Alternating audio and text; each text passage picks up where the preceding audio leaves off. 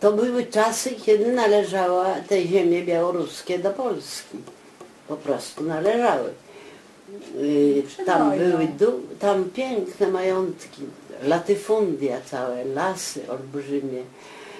I tam właśnie sporo tych polskich rodzin dostawało to, a to od króla, a to od jakiegoś tam, no nie wiem, w każdym razie y, mój, moja rodzina to dostała od e, księcia mazowieckiego, ale podobno to y, od króla nawet. Wańkowicz to był najbliższy przyjaciel, najbliższy, taki prawie rodzina tak.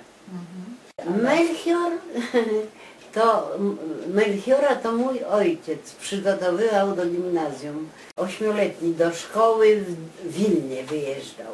E, Księżna Światopełk Mirska to też był taki ród dosyć e, liczny, dosyć liczny, piękny dwór. Dzierżyński był przy, zaprzyjaźniony z nimi wszystkimi. Żona była Dzierżyńskiego, przemiła, urocza. To ojciec ją dobrze znał.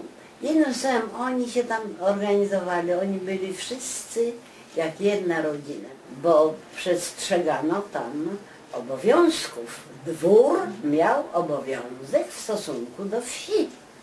To niech się komuniści schowają ze swoimi, ze swoją opieką, prawda, nad, nad ludem Bożym. A tam tak, w każdej, w każdym dworze była e, szkoła dla dzieci wiejskich, po- podstawowa. Szkoła podstawowa musiała Powszechna być się wtedy nazywała. powszechna, powszechna. Tak, musiała być w każdym dworze. Nauczycielkami były panie z dworu, one wszystkie miały wykształcenie. Najstarszego dziecka y, chrzestną matką musiała być, być kobieta ze wsi. Święta wszystkie to były przyjęcia dla całej wsi z dworem razem. Także stosunki były cudowne. Tak jak były dobre stosunki, że taki nadleśniczy mojego przodka, jak zabrali już komuniści wszystko, majątki wszystkie, wszystko, to moja rodzina tu do Warszawy wróciła. Wróciła, bo to kiedyś tam, ta, to inna. W każdym razie mm, co miesiąc przywoził walizkę z pieniędzy mojemu dziadkowi, bo powiedział to pana. Trzymali się tego, że to było jeszcze tych właścicieli. Rzeczywiście przyjeżdżał z pieniędzmi, nie może przesadzam, że tam walizkę, ale w każdym razie przynosił, powiedział sprzedane drzewo to pana, a to pana jest. A Dzierżyński miał żonę. Wybuchła rewolucja, Dzierżyński jakoś nie było go tam w domu. No, dowiedział się, że zamordowany, że zabili ją, no, krótko mówiąc.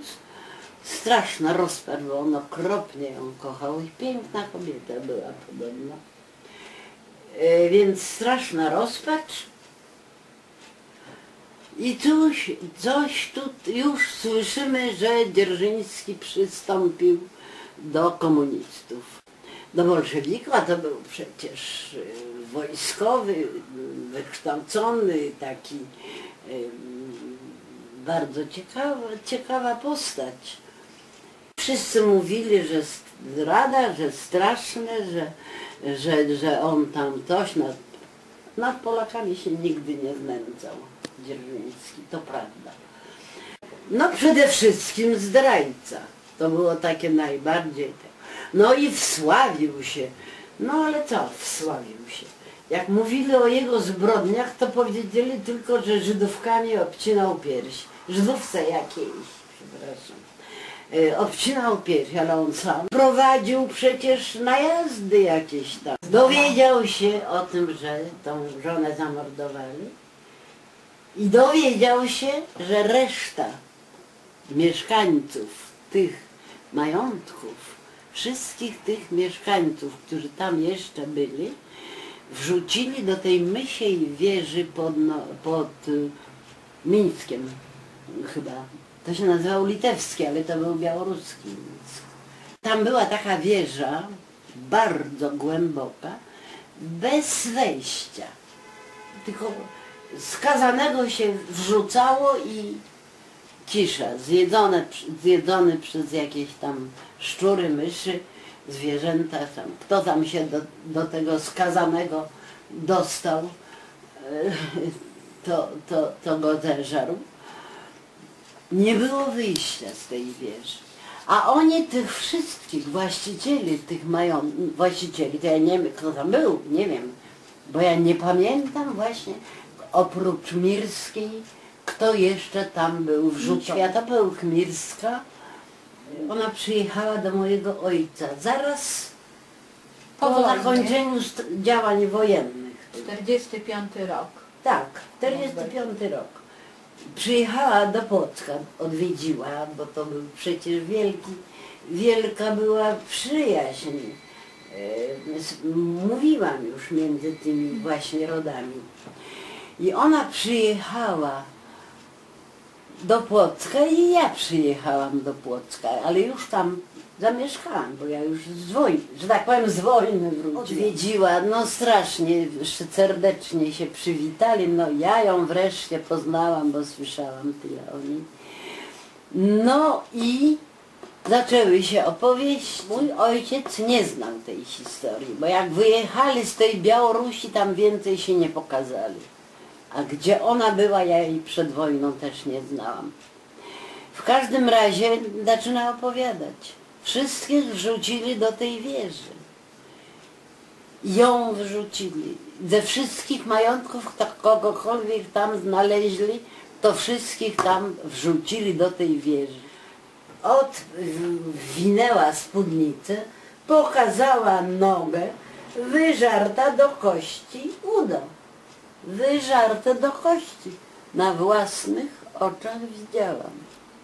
Dzierżyński się dowiedział, słuchajcie, ze swoim oddziałem w nocy wpadł ze sznurami, wyciągnął wszystkich, wszystkich co do jednego i już nie on, on uciekł już, y, a jakiś jego podwładny y, odwiózł ich wszystkich, dostarczył do, do Polski.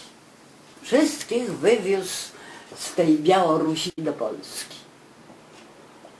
No, to jest ciekawa historia, bo dlatego o Dzierżyńskim chodzą najprzeróżniejsze legendy, najprzeróżniejsze, a mnie się wydaje, znając jego właśnie, takiego rodzaju czyn, a tak naprawdę to ja nie wiem, co on tam zrobił.